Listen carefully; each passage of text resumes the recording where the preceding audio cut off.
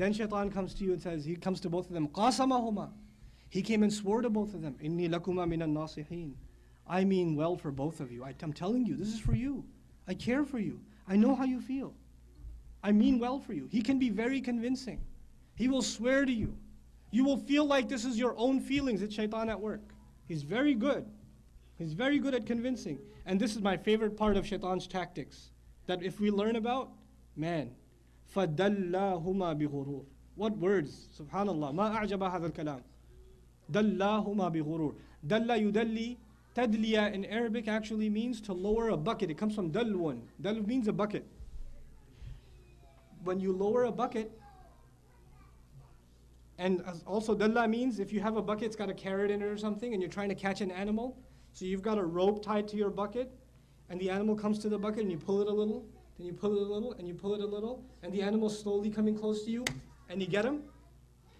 Does that happen quickly or slowly?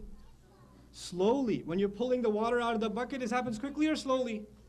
Shaitan got them slowly with deception.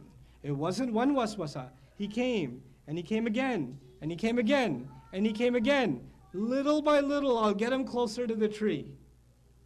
I'll pull them closer one, one step at a time. I'll take my time with them. I got all the time in the world. Because I've got until judgment day to get with these guys. So I'm going to take my time. So shaitan will not come to you, my young brother on campus, one time and say, hey, look at her. Just look one time. Come on, nobody's there. It's not MSA. It's okay. It's just bio. It's lab. She's your lab partner after all. It should be halal here. It's all right. Just look. And you say, no. No, shaitan. Come on. Stop it. I'm your friend, bro. It's not haram, I'm telling you. Maybe you can give her da'wah. Oh, yeah, da'wah. Deen and dunya. This is great. yeah. You know, he'll come, then he'll come again, then he'll come again until he gets you.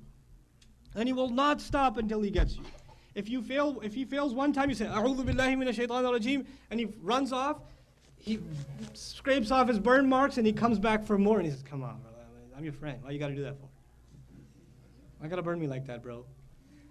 You know, we'll burn later together. That's his line.